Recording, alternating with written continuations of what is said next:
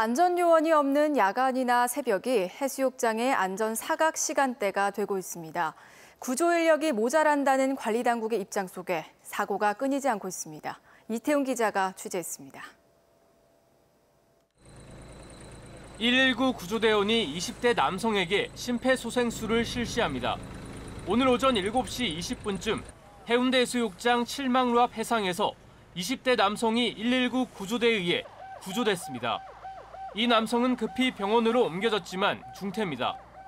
지난달 30일 밤 경남 통영의 한 해수욕장에서도 물에 빠진 피서객이 119 구조대원들에 의해 가까스로 구조됐습니다. 요즘과 같은 여름철 해수욕장에서 소방 구조요원이 배치된 시간대는 오전 9시부터 오후 6시까지입니다.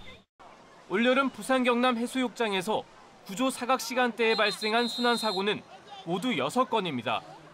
한 명이 숨지고 7명이 구조됐습니다.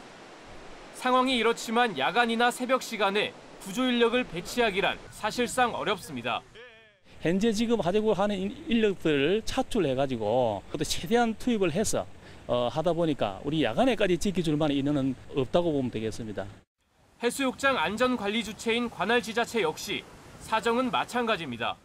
뭐 어떤 인력 운영이나 예산에 좀 한계가 있습니다. 그래서 저희가 지금 내년도에 그런 부분을 예산에 좀 반영을 해가지고 지금 경비 용역을 그 새벽 시간대도 한번 검토를 해볼 생각인데 현재로선 피서객 스스로가 주의하는 것 말고는 별다른 방법이 없어 야간 해수욕장 안전 관리에 비상이 걸렸습니다. KNN 이태훈입니다.